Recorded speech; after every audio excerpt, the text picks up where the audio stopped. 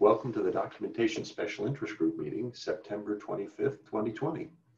Uh, let's review the agenda and then we'll go through it. So first, report on previous action items, then Hacktoberfest preparation as a topic, Google Season of Docs as a topic, office hours results, data on contributors and contributions. We'll work through each of those topics and then conclude the meeting.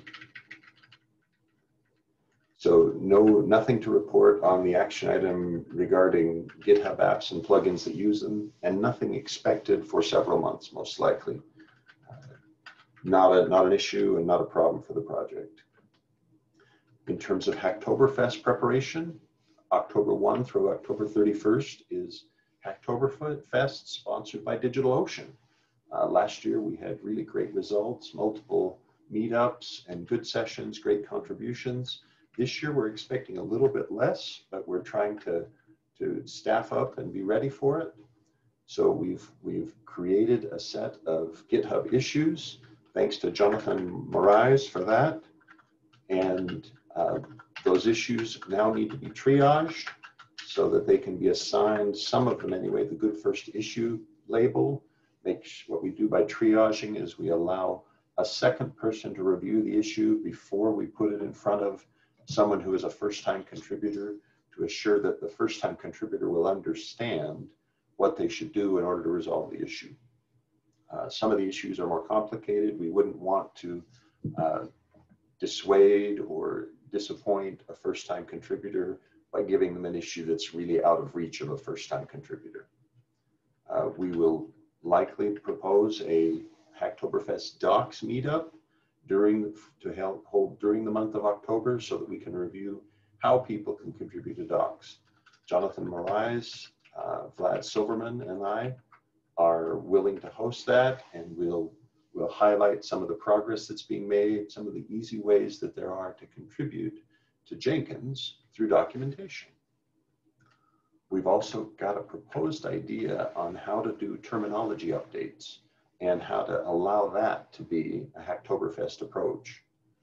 So what we think we could do is count the occurrences of the, the offending terminology, in this case master, in the subtrees of Jenkins.io. So there are pieces that may be in one part of the tree, like system administration, or another part like in using, or various places like that, and create GitHub issues for a portion of those subtrees based on a reasonable count of the, the offending word in the subtree. The idea is that we don't want to create a single monster issue that would require someone to make many, many, many changes. Rather, let's create several smaller issues with assigned subsets, and those people can work on the subset, take it up, complete it, submit the pull request, and go on. We don't want the subsets to be a change of a single word in a single file but rather some reasonable size set. And the size of reasonable remains to be seen by doing the, the triage exercise. Uh, after creating those, we'd still like someone else to review the issue to decide if it's a valid good first issue. And if it is, then we'll assign the good first issue label to it. Now, we've only got about six days before we start Hacktoberfest. So this is a place where we're time limited on what we can do. We hope to get this done within the next few days. Uh, one option uh, item that was suggested was a Hacktoberfest Hall of Fame. We had this kind of Hall of Fame for the Jenkins UI Hackfest, and it was exceptional.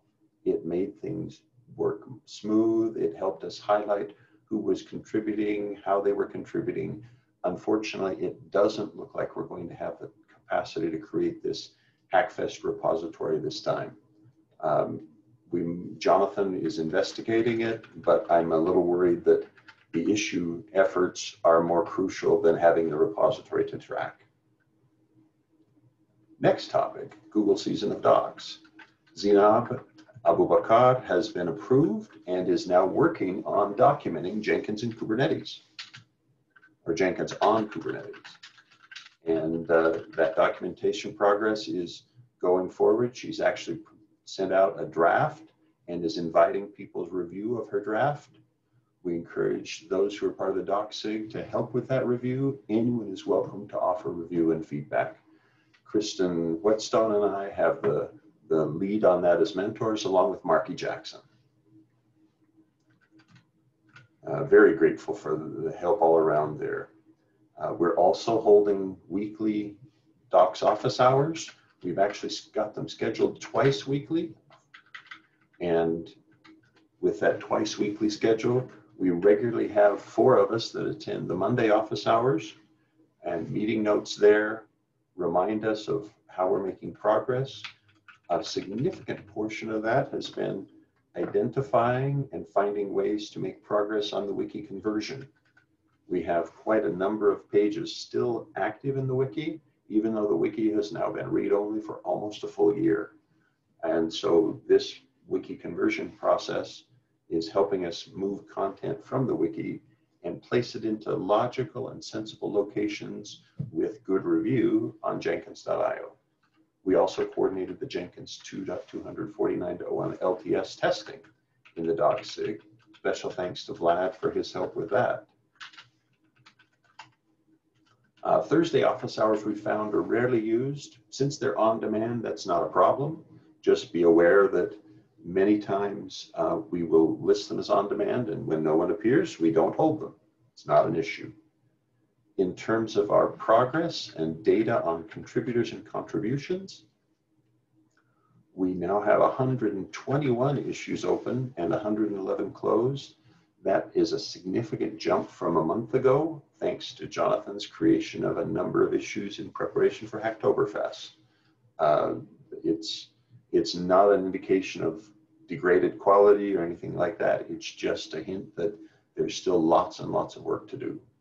Uh, on the time from PR submission to engagement, uh, here on this graph, what you see on the green line is the 85th percentile of time from the initial submission of a pull request to first involvement from a non-author on that pull request. And what you see across this two-year span is that for the last six or seven months, we've consistently kept our, kept our 85th percentile value below one day, but just barely below one day. That's much better than we used to have, but still could use some improvement. Uh, you'll see in the, la in the most recent data period that we actually brought that down to less than 16 hours for the 85th percentile it's good positive progress. The time from open to merge is not showing as positive a progress because we've got quite a number of pull requests that are languishing in the backlog that were submitted as part of the Hackfest need significant revisions but have not been revised. Uh, this one we really do need to improve.